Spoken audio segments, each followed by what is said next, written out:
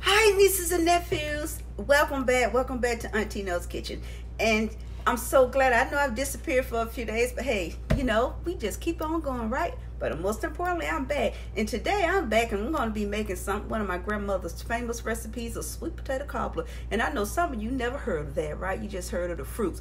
Blackberry, blueberry, peach, etc., etc., etc. But we're going to be making sweet potato cobbler. Yes, good old sweet potato cobbler. It's one of my grandmother's famous recipes. My sister loves it. I love it. They used to sell it at my old job long time ago, but when someone else took over the cafeteria, they stopped selling that. They stopped making it and you know we we were really upset that they stopped baking that sweet potato cobbler so it's really hard to find in a lot of southern restaurants these days they mainly just stick to peach here in the south um, a lot of people have gotten away from sweet potato cobbler that's an old southern time favorite so I'm going to be making that. And I'm just going to bring back grandmama, okay? So give me a moment and we'll get started, okay? Let me do a flip and sweat. And for those of you that are running through my kitchen at this time, I hope you grab a chair, hit the like and subscribe button so you can become a part of my big happy family too. You could be a niece and nephew. So hold on one second. Okay. As you see, my board is a mess because I already made uh, a crust. And I'm going to show you what it took to make that crust Okay, so um, what I've done, this is two and a half cups of all-purpose flour. When making your pie crust, please make sure your measurements are precise. Scrape off when you measure with your cup. Um, make sure you level off your cups of flour. Okay, this is two and a half cups of all-purpose flour. You're going to take two um, sticks of butter. And what you're going to do to this butter you're not gonna um just throwing it's not like I'm making biscuits. I'm gonna cut this butter up into little small pieces. You know, this is what I'm gonna do to this. I'm gonna cut it up into small pieces. Slices, you can go slices, pieces, whatever you, you know, whatever you want to call it. You know, you can cut it up any way you want to.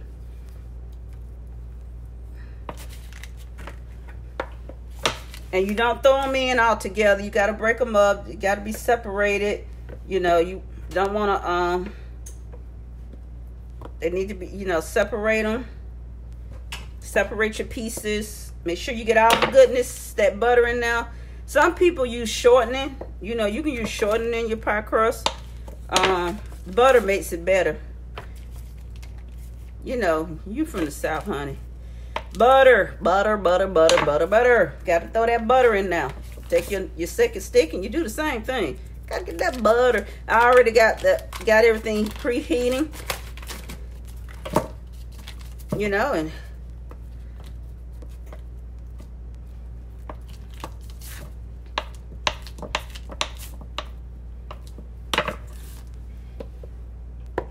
and I'm going to show you what I'm going to do with this. Now back in the day, they didn't. Uh, they used to use the butter. Your butter needs to be cold, y'all. Don't not warm butter. They used to use a fork and blend it all, but I'm not doing that. Toss it around, and you're gonna add a, a teaspoon of salt. Teaspoon of salt. And you're gonna add a teaspoon of sugar. You can omit that if you want to. That's up to you. Okay, you're going to coat your butter with your flour. And what I'm going to do, that's all coated. I'm going to take my food processor. And what I'm going to do, I am going to crumb this down. I'm going to put in my food processor and crumb it down. And you'll see what I'm talking about. Because I already made one pie crust, but I need you guys to see what I'm doing. And I pulse it. I pulse it till I get crumbs. And you will see what I'm doing. Tap, tap, tap, tap, tap, tap. Now you, I yes, I have a bigger processor, but I don't feel like going out there to uh that box out there and fill it with it.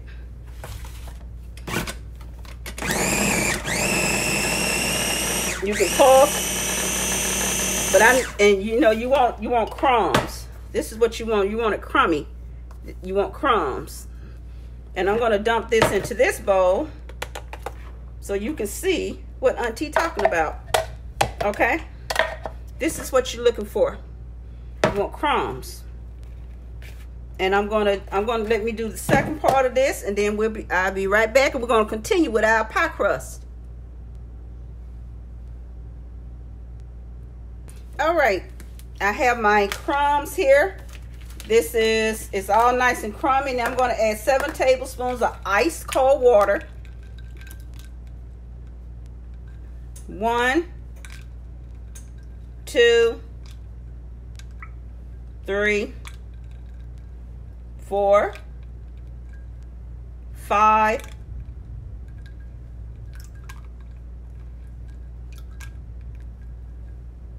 six, seven. Make sure you don't get any ice in it. And I'm gonna just gonna combine this. Now you and it's, I want it to conform into to it all well combined into a ball. Now if you see where it's too sticky, that means you have too much water. But some people, if you don't, for you beginners, add your uh, ice. Start off with five, and then you work from there. and I just keep working it. And if it uh see where it's dry, you just uh add your little more water.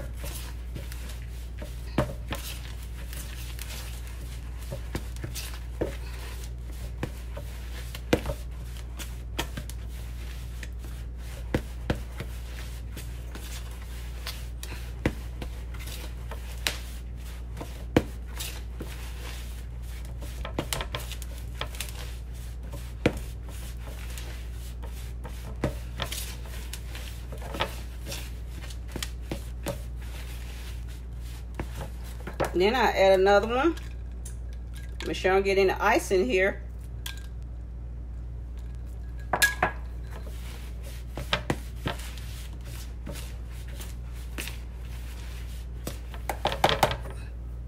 And I'm going in with my hands.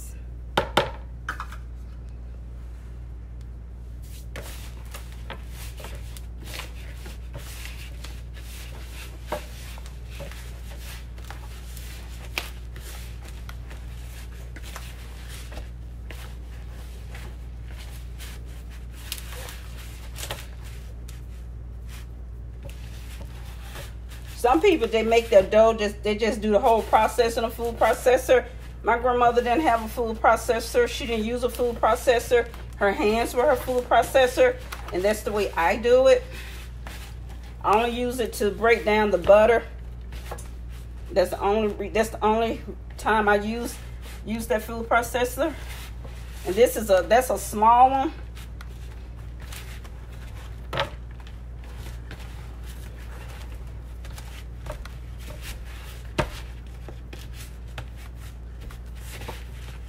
Have my dough.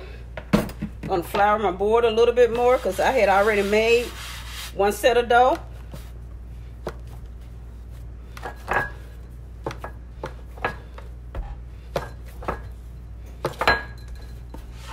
Trying not to knock anything over. Flour my hand.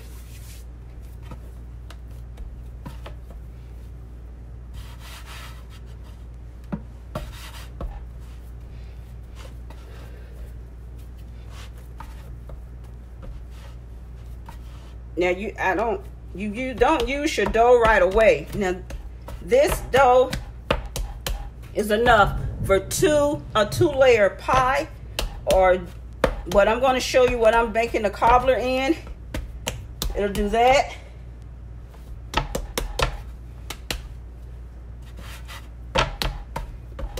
Now you can um, cut this in half because I'll show you what I've done because I had already made a dough. So I had already made a dough. So what I did, this is, I cut it in half for my bottom and my top. So this is already ready to be rolled out. So this I'm gonna, cause I want to make a uh, something else later on. So you know your dough can be frozen. So what I'm going to do is put this into saran wrap and roll that baby out.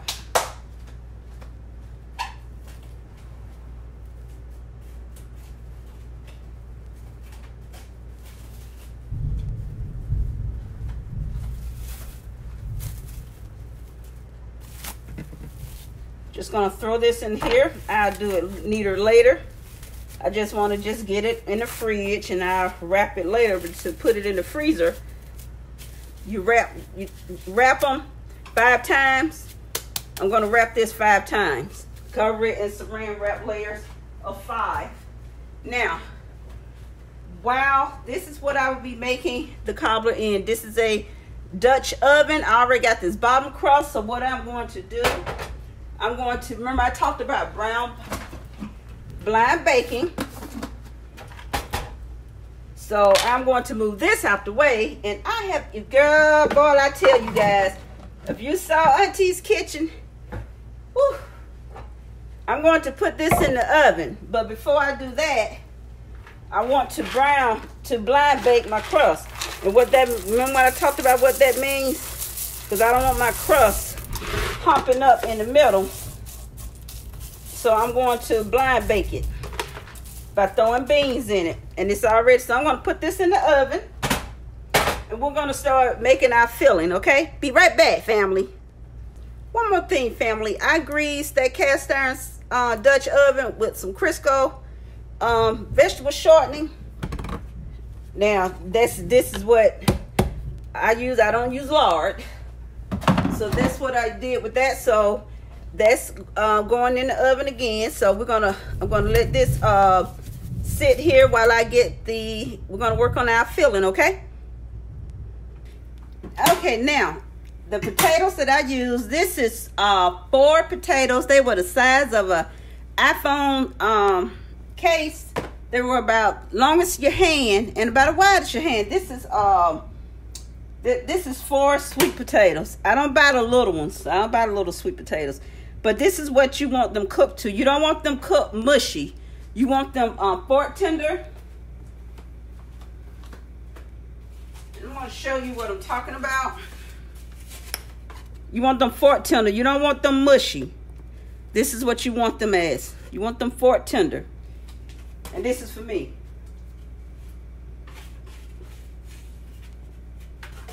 Mm, yum, yum, yum.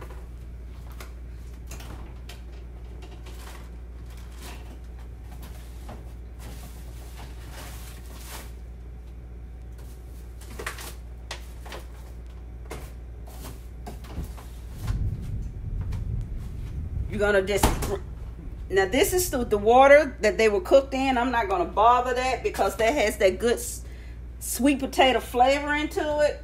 And you're gonna add, let me get my measuring spoons again.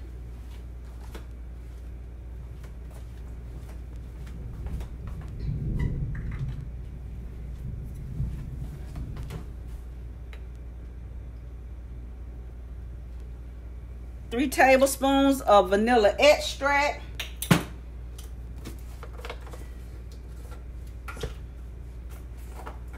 Have, but I know there was three tablespoons.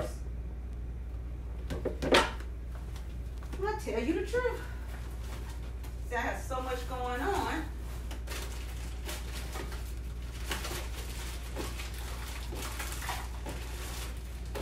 Find my other bag.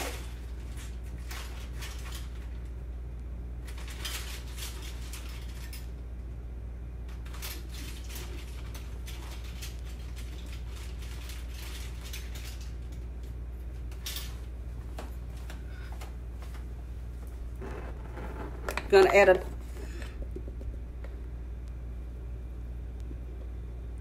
gonna add, ta add a tablespoon and a half of cinnamon.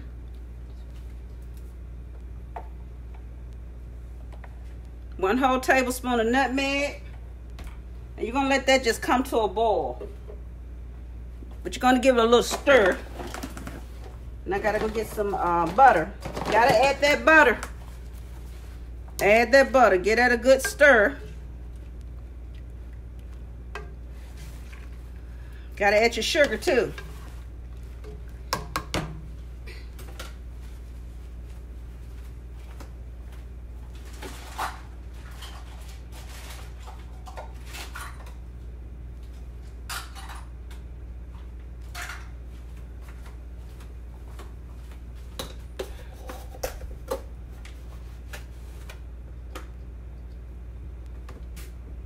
I'm going to add a cup and a half to start of sugar.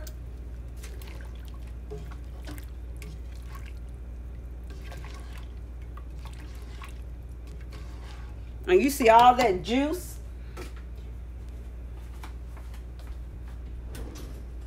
And I'm going to taste my uh, juice to make sure it has the right amount of sweetness that satisfies. A little bit more sugar, about another half a cup. So make that two cups of sugar.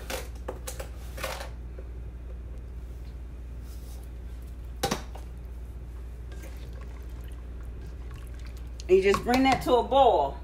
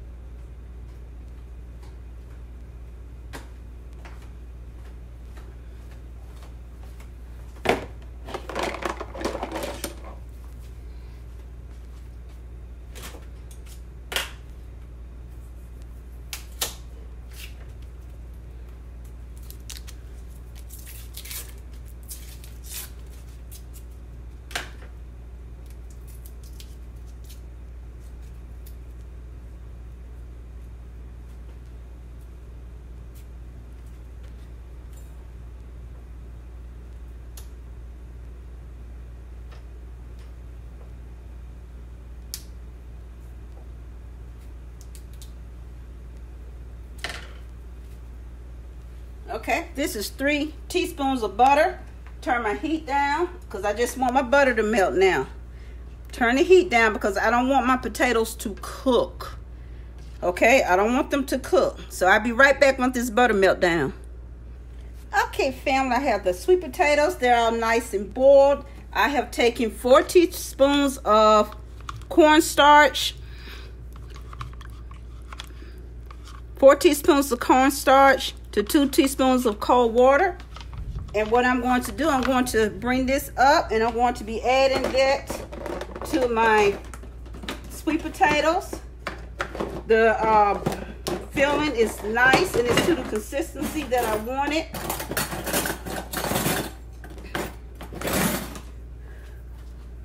And my crust is done. I've already removed the beans from it. So my crust is half baked, my bottom crust, because you don't want a soggy crust.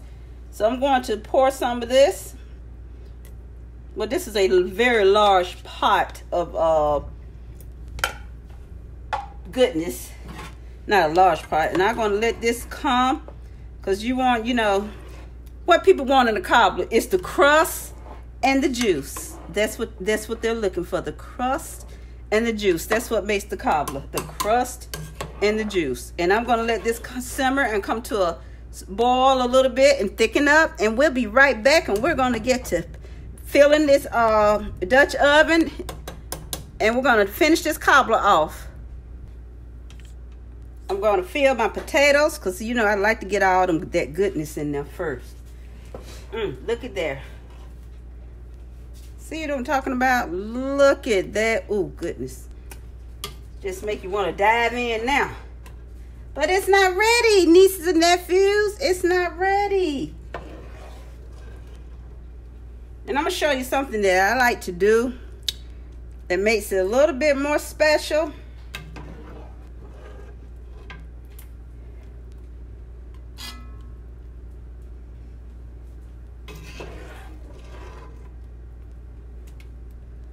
Show you something that auntie likes to do.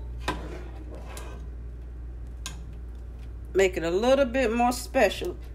So you want your cobbler full of goodness. It ain't a sweet potato cobbler. Don't have any potatoes and juice. You gotta have that goodness in there. That's why I spoon out all of my potatoes first. Then I add my uh juice. Because you want to make sure you get all the goodness in here. I don't want to leave any potatoes left behind. So now I take me a ladle, ladle, ladle, ladle, ladle, whatever y'all want to call it.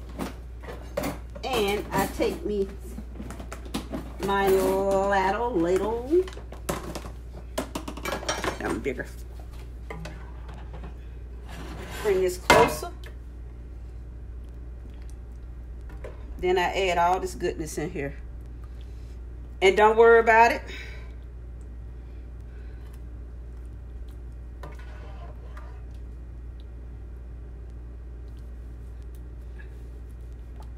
And you're gonna have to move those around because so you don't want you you need that juice to get down in there.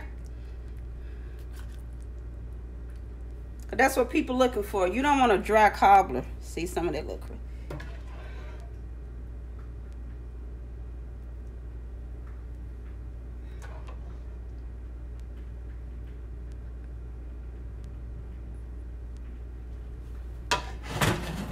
You ever go to some, you, you go to a, a, restaurant and then we're to switch back over because we're to make our top crust. Hold on, family. Okay. And you know what? I got to go with this um, sweet potato cobbler that I'm getting ready to make. Because this is today's dinner. Got some, um, gonna make some chicken and dumplings. Because that has been a request. And me and Katie Pot love chicken and dumplings. So I'm going to roll this baby out so I can make my top crust.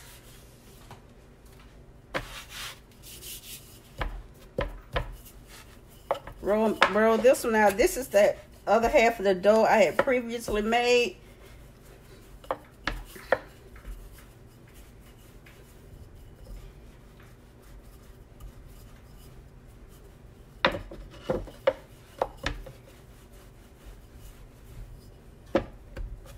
You know what I think I'm gonna do?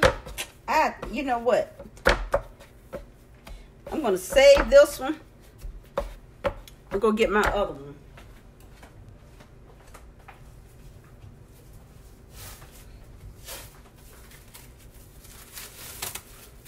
I think what I'm gonna do is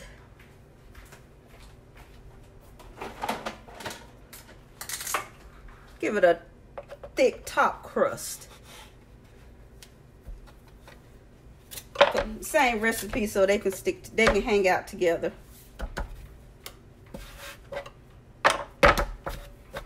Give it a, give my top crust, make it thick. Give it a nice thick top crust, cause you need, cause uh, you want, I want a thick top crust.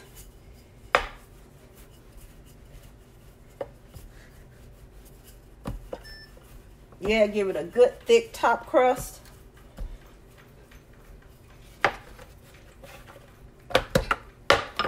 I don't want to stick them to my board.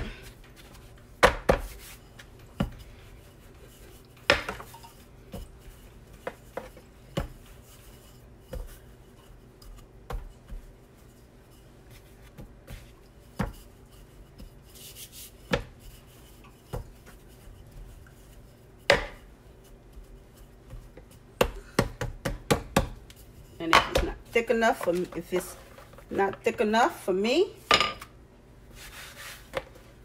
do I want that thickness?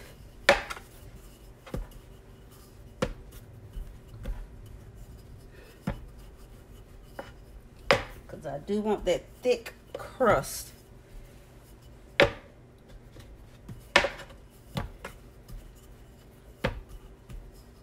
I want it thin. I don't want my top crust thin.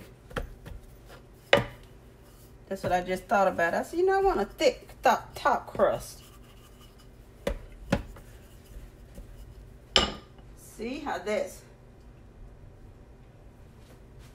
Yep, cool.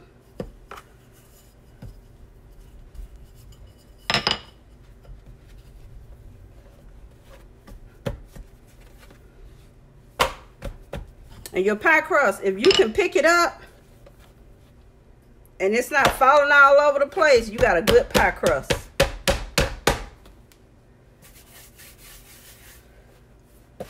And sure this baby don't stick to my board because I flipped it over.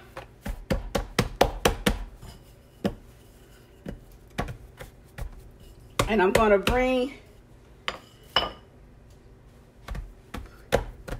Let me get it labeled, labeled over there to the pot.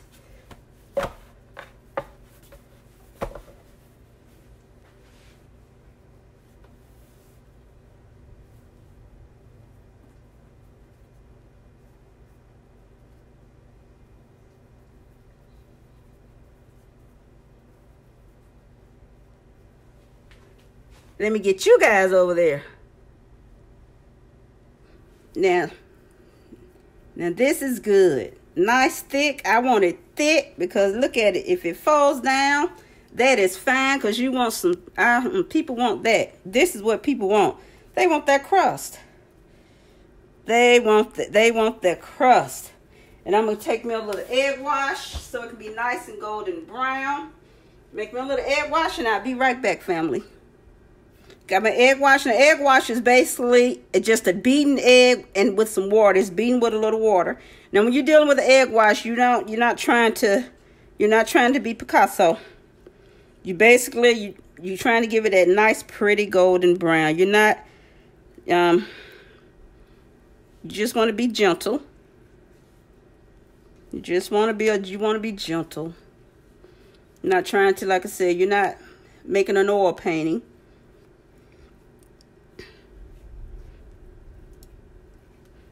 Some people can use butter. I don't use butter because butter doesn't give it that goldenness that I want.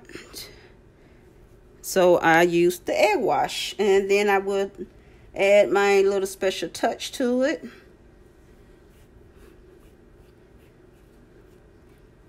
Just use a pastry brush.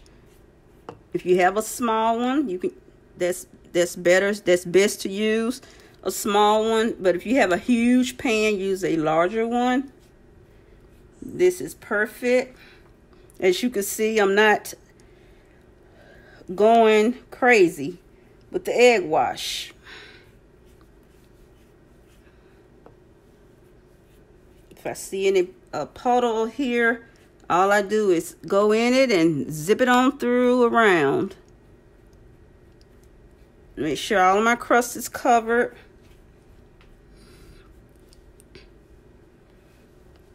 There's a little spot that I missed. And what I'm going to do now, I'm going to take some cinnamon sugar.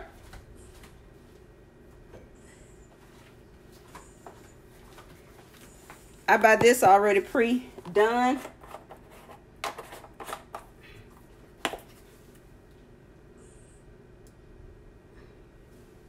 And I just take a little bit, sprinkle it on. I don't sprinkle it from there because you'll have too much. You don't want to do that. Just sprinkle a little bit. That's all you're going is for a little bit. And that juice that you have left, you save that, okay? You save that.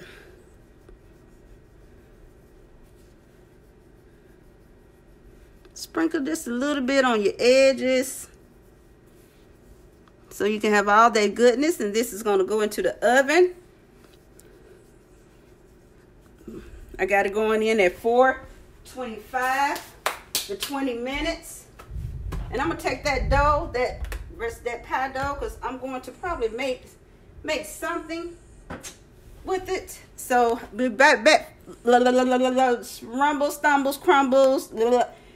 I will be right back, and we will be rejoining our family reunion. Let this get baked again for 25 for about 20, 25 minutes. Not even 25 minutes, probably about, yeah, probably about 20, 25 minutes. And we'll be back. Guys, remember I just said what I'm going to do with this pie crust. So you guys just stay tuned. You'll know. Um, I'm going to make a summer tart. Because I had been meaning to make a summer tart. And um, hadn't got around to it. So I said, well, you know, I just I have this extra pie crust. I'm going to make a tart. So one thing I would have to do is um get fruit. So I already have my the hard part is cut out for me. So be right back. Oh y'all, look at that. You you hear that? Mm, you hear that sizzling going on? That's some of that juice, that goodness down in there. Now I need to get me a good spoon and dig into that so I can get some of that goodness out of there.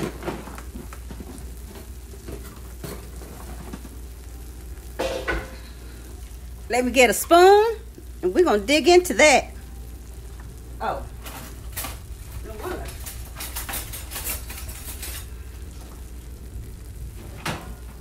And I need a bowl. Can't dig into nothing without a bowl. You know I'm gonna aggravate my sister by sending her a picture. So we're gonna cut into, how about right, this good enough? Look at that, mm. Gonna get this crust here. Now y'all know Auntie ain't got no business with this. Oh, look at that. See what I see? I, that's why I said I wanted that thick crust on top of there. Get some of this bottom crust. Look at that. Mm. See that cast iron? This cast iron pot still got it cooking. Throw some of this on here. Look at there. Look at there. Don't this look good? sweet potato cobbler. Now this is some good eating. And see, got that juice going on. Got those potatoes up under there, that nice thick crust topped with that cinnamon sugar. And I'm gonna, my juice seems to be wanting to run away from me. And I'm gonna smooth some of this out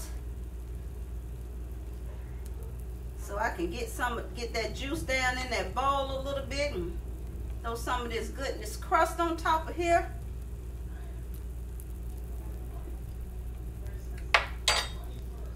I ain't got no business with that. Lord knows that. Mm -mm.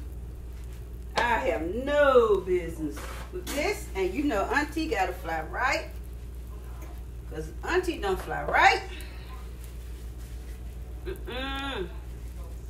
I don't play by I don't play by my diabetes. Look at that. Look at that. Mm, mm, mm. Are that little delicious family. So you know Auntie gotta cause Auntie gotta get started on these chicken and dumplings you all will see in, in another in the next upload. So we, this is gonna be our, our Sunday dinner. Hold on one second, family. Thank you guys for joining while I uh, we made this delicious sweet southern old fashioned. This is my grandmother's recipe, Mapearl, that sweet potato cobbler. and I know it looks delicious because it definitely looks delicious for me. Auntie can only have a little bit of this. So this is gonna stay home with Auntie. And um, well, that's my little bowl and that, that's gonna last me a little while. So Thank you guys. Love you guys. Thank you all your love and support. I hope you make this good old Southern favorite uh, for you and your family and friends and share with them. Or, you know, like I always say, keep it to yourself. Again, thank you for all your love and support, your um, likes. I appreciate it. It really helps my channel. It's YouTube, Google, whoever, you know, all them let Auntie is still doing a good job. Okay, tight hugs. Kisses to all of you. To the next upload. Because I got to get started on these chicken and dumplings because the village is hungry, okay? I'll talk to you like guys later. Till the next upload. Love you guys. Bye.